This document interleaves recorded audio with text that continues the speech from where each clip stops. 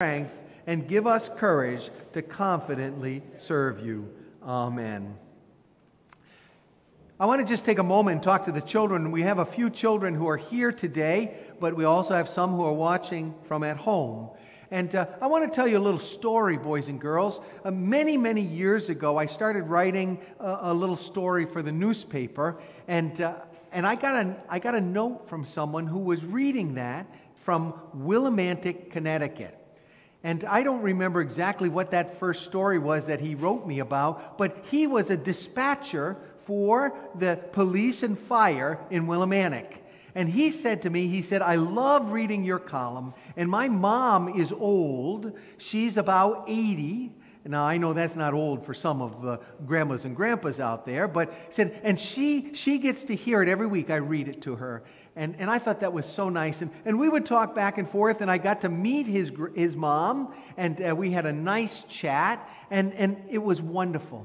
And I didn't really hear from him. I moved down to Westerly here, and somewhere along the line, I wrote a story about being associated, being a volunteer fireman.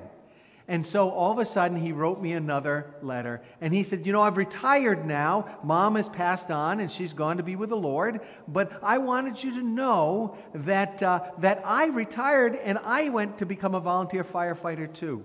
And uh, I know that you went to the church in Lebanon, Connecticut. And so I kind of think that, that maybe you would like this. And he sent me along this patch.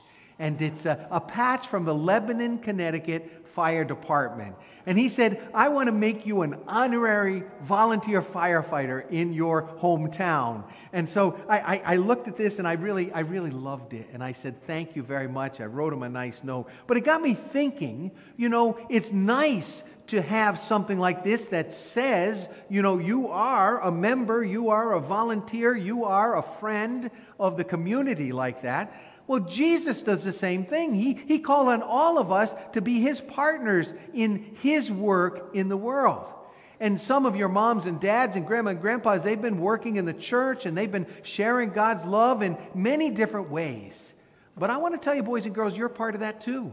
You're one of the volunteers. And I don't have a patch to give you, but you know what? Jesus said, Carry me around in your heart and let my love show. That'll be your patch. As you share my love with all the people you meet, people will know that you belong to me.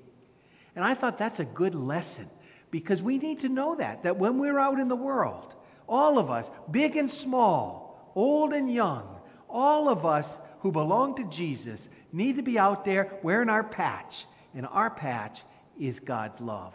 And so go ahead and share that. Share that with the world and let them know that you belong to Jesus. Well, thank you very much, boys and girls, and I hope you have a great week. Uh, it looks like we're going to have some good weather today and tomorrow and, and maybe into the week. So thank you for watching. I'm going to invite Jerry now to share with us our scripture reading from the book of Colossians. Today, we're going to be talking about the um, scripture reading, the book from Colossians in your bulletin is uh, 3 1 through 14, but we're only going to be reading 1 through 4 today. Since then, you have been raised with Christ. Set your heart on things above, where Christ is sealed at the right hand of God. Set your minds on things above, not on earthly things. For you died, and your life is now hidden with Christ in God. When Christ, who is your life, appears, then you also will appear with him in glory. May God add a blessing to his word.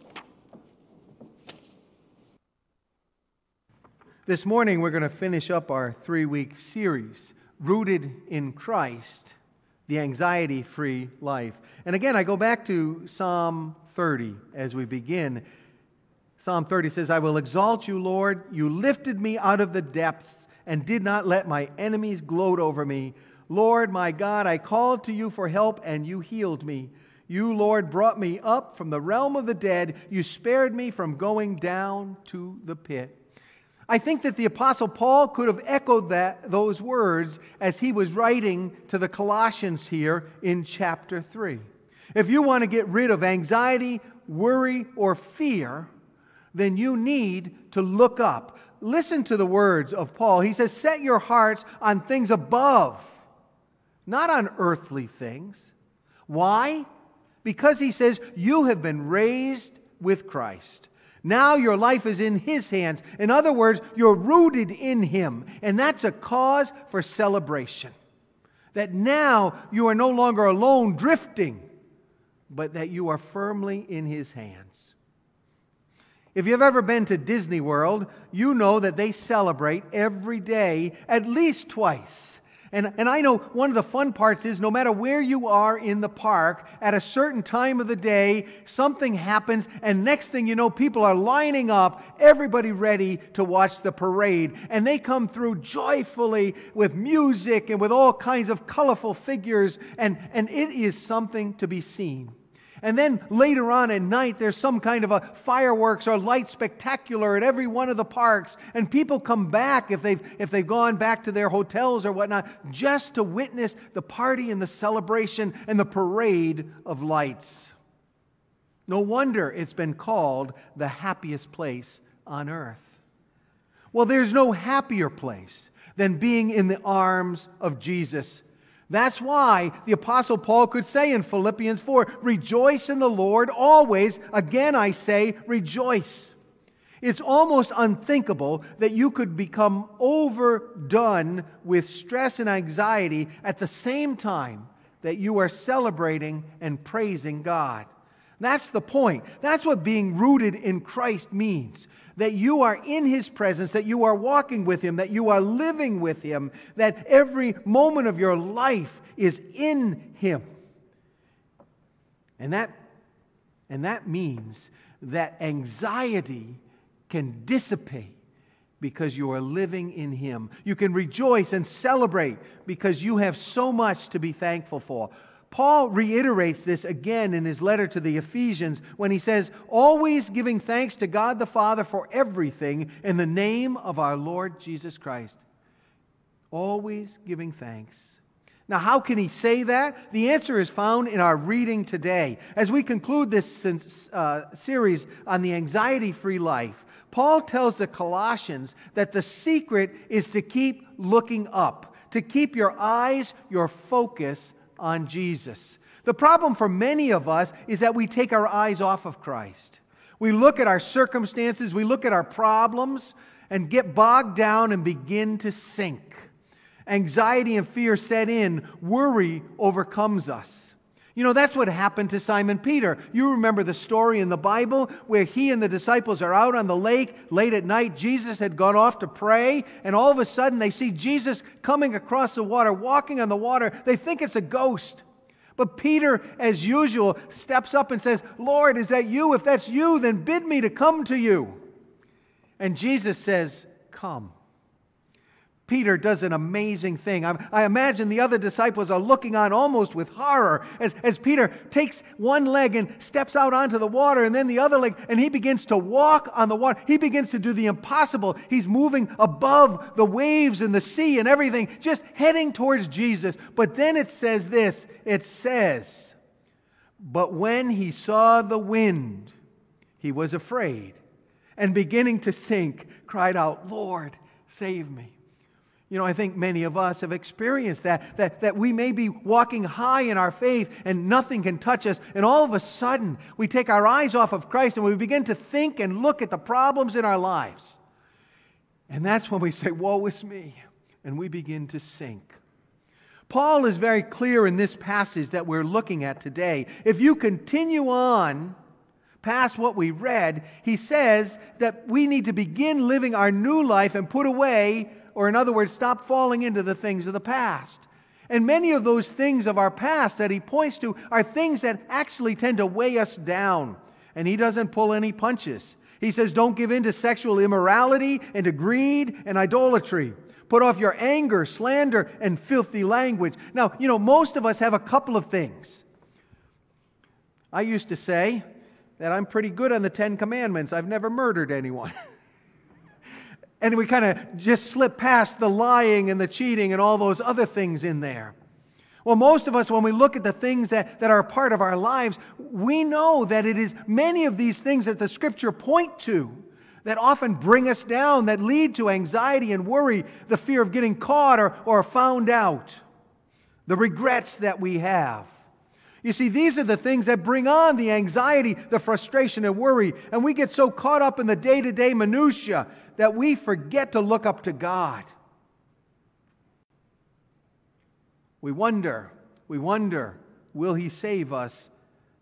Did we handle things right? We live with we coulda, shoulda, woulda, and we let these things drag us down and forget the promise and the future that Jesus offers us.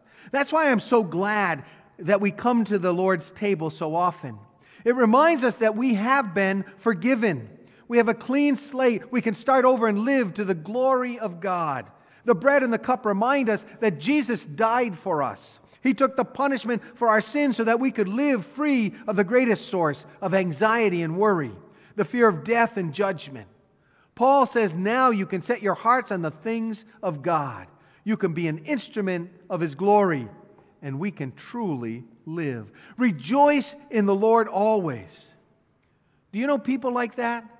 That are always smiling, always happy, always looking for the silver lining? Why? because they know that something good is going to happen. This is what, this is what Jesus encouraged us to do is to, to look to him, to look up, to believe that he will take care of things. Now that doesn't mean that we don't need to act and to do what's right. But it's trusting in the Lord.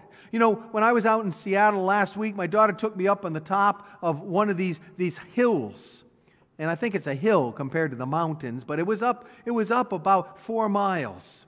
And as we were up there, we could see all the mountains around, and we sat down to have our lunch. And as we sat there on this little wooden fence in front of us, came a little bird. And the bird just sat there, looking at us. And so I said to Sarah, I said, Do you think I can give it? You know, Sarah's a veterinarian, so she's the expert. Uh, I said, Do you think I could give it a little piece of bread? And Sarah said, I, I don't see what it would hurt. And so we gave the bird a piece of bread. And then the bird wanted another piece kept coming back. It would fly off, maybe to feed some babies or something like that, but it would fly back. And then Sarah said to me, she said, You know, it's amazing. The birds are always able to find what they need, whether we're there or not. And it just brought to mind that passage in the scriptures when, when, when Jesus was talking about worry and fear and anxiety, and, and he said to them, Look at the birds. Look at the birds. They, they, they don't have to worry about it. Your heavenly Father takes care of them. One day in a walk, I saw a bird and had a worm. Now, I wouldn't want a worm, but that bird wanted that worm.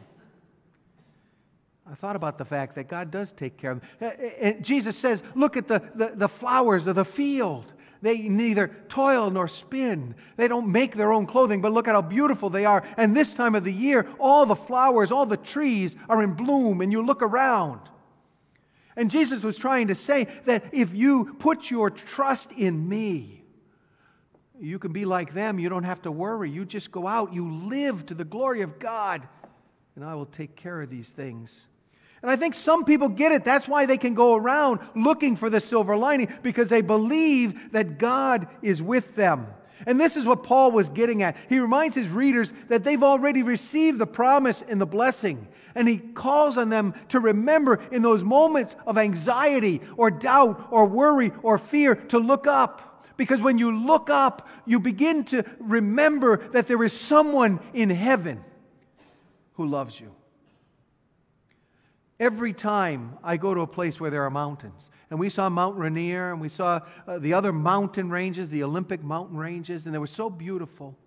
And it reminded me of when I went to Colorado and the great national forest there, the Smoky Mountains, and going up and seeing the mountains and the snow in the middle of July and just marveling and saying, This is what David was talking about. Where does my help come from? I look up and it's up there. I see the mountains.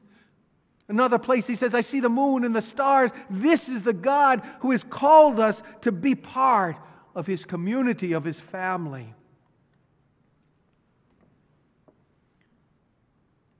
Today, I want to focus our attention on Thanksgiving. I'm not talking about the holiday, I'm talking about the practice of Thanksgiving.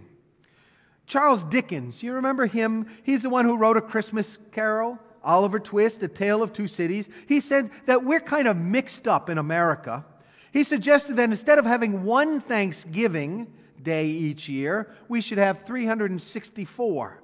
Use one day for complaining and griping, and use the 364 other days to thank God each day for the blessings that He showered upon us.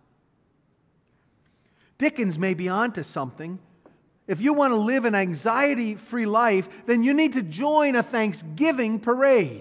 It's been written, it's not life circumstances that determine the quality of our lives, but how we respond to them. That's why a Thanksgiving parade would be great. It would be a reminder of the gratitude that we need, the sense of wonder and appreciation we must have if life is to be fully embraced and lived. Thanksgiving was never meant to be a one day thing. It should be a season of perspective that goes on and on. Just as we heard Mrs. Scarano give thanks to God today for the miracle in her life, all of us have those miracles in our life, those, those moments, those circumstances where we can just pause and give thanks to God. And sometimes we let them go and we forget about them. They're in the past, but we need to continually remember and give thanks. For when we say thank you, we are saying that we're dependent on others, we're dependent on God, and we're appreciative of what He's done for us. It causes us to pause and to take stock of our blessings so we can realize how much we have and where it comes from. That's what we do at the table. When we come to the Lord's table, we, we pause and, and maybe once a month or, or maybe once a week or once a day, depending on the different faith traditions, we pause and we stop and say, Look at what you've done for me, Lord. Thank you. Thank you. You know, one preacher wrote this. He says, Even though we growl and hate to get up when the alarm rings each morning, Thank you, Lord, that we can hear and have the strength to rise. There are those who are deaf and bedbound. Even though the first hour of the day is often hectic, that's the time when you can't find your socks and the toast is burnt and tempers are short. Thank you, Lord, for our family. There are those who are living alone and lonely. And even though our breakfast table never looks like the pictures in the ladies' magazines, and the menu at times is unbalanced, Thank you, Lord, for the food that we have. There are many who wake up hungry. Even though the routine of my job is monotonous, thank you, Lord, for the opportunity to work. There are many who have no work. Even though we grumble and bemoan our fate from day to day and wish our modest circumstances were not quite so modest, thank you, Lord, for the gift of life. You know, once we've counted our blessings, given thanks for them, it helps keep us humble. It puts everything into perspective and leaves us contented with what we have. Even if it isn't a lot, we can say thank you for those things. To thank God for all that we have is to remember the rich and rare blessings that we enjoy, the things that money cannot buy. You know, the story is told of, of Alexander Whyte, a Scottish preacher, and he always began his prayers with some expression of gratitude. Well, on this one particular Sunday morning, it was raining, sheets of rain. It was blustery out. And, and as they got to the church, the heat was out. So it was cold and damp. And not only that, but they developed a leak in the corner of the sanctuary. And, and it was a place where, where a lot of people sat. It must have been in the back. Uh, and, and so, so as, as, as they got to the church, one member said to another, I want to see what he's thankful for today because this is one of the worst Sundays we've ever had. Well, when Pastor Whyte began his prayer, he said this We thank thee, Lord, that it's not always like this. A simple prayer.